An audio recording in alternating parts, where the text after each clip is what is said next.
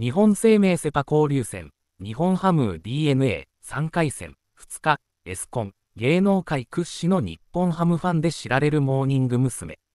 24の牧野マリア、23が試合前に日本ハム OB、糸井義義、42との一球勝負と始球式に登場した。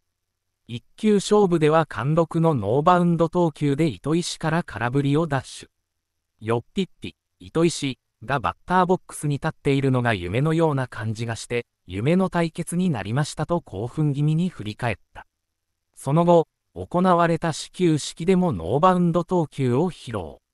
日本ハム OB の斎藤佑樹氏、35から投球指導を受けたといい、自分の中ではすごくいい投球ができたと笑顔。